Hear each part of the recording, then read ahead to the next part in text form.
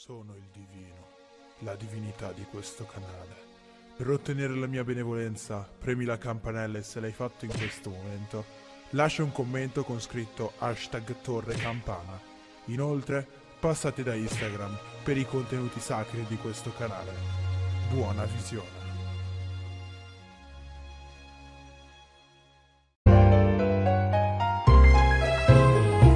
Ragazzi e benvenuti in questo nuovo video. Come vi avevo promesso quest'oggi andremo a parlare più nello specifico della questione riguardante il Project Biluga Project Biluga che non è nient'altro se non il nome in codice dei prossimi titoli Pokémon in arrivo su Nintendo Switch. Nome in codice che ovviamente non è una novità perché questi nomi sono sempre stati in circolazione anche per i titoli precedenti. Occorre precisare che la fonte che ha rivelato questo nome non è una fonte ufficiale ma comunque è una fonte decisamente autorevole Si tratta dell'utente del web Pixelpar che a quanto pare per quanto io non ne abbia mai sentito parlare ha una buona voce in capitolo a riguardo visto che questo rumors è diffuso come verità universale in giro per il web. Di certo il nome Project Biluga non è un nome campato per aria e questa è una cosa che sicuramente va a influire sulla veridicità presunta di questo leak. Infatti stiamo parlando di un nome in codice che fa riferimento ad un particolare animale esistente sul nostro pianeta. Si tratta per l'appunto del Biluga o della Biluga, o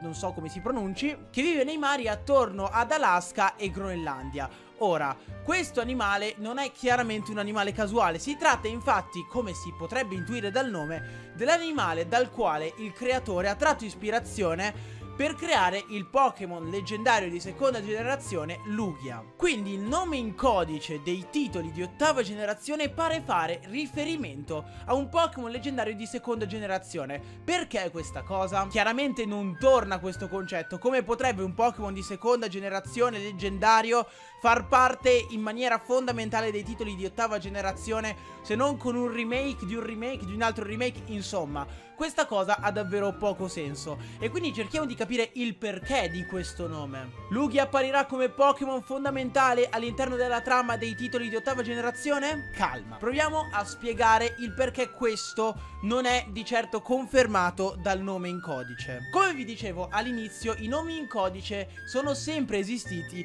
e sempre esisteranno per quanto riguarda la pubblicazione di nuovi giochi Pokémon. Andiamo a prendere il nome in codice di Pokémon Sole e Pokémon Luna. Nome in codice molto particolare perché per i più, diciamo, svegli di memoria era Pokémon Rainbow, quindi Pokémon arcobaleno.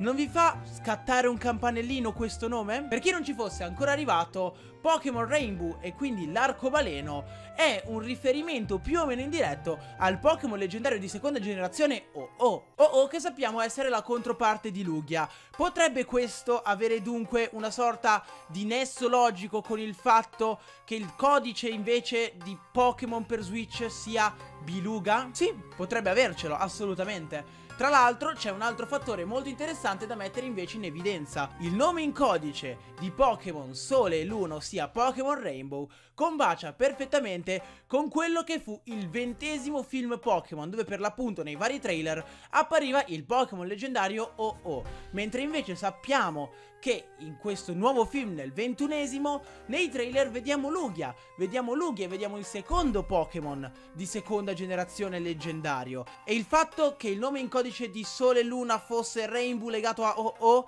che era presente nel ventesimo film e che invece quello di ottava generazione sia Biluga quindi riferimento a Lugia, che invece è nel ventunesimo film, potrebbe far scattare effettivamente una lampadina nel nostro cervello. In Pokémon Sole e Luna, ovviamente, OO non è stato un Pokémon principale, anzi è stato relegato in un ultravarco fino alla fine dei suoi giorni.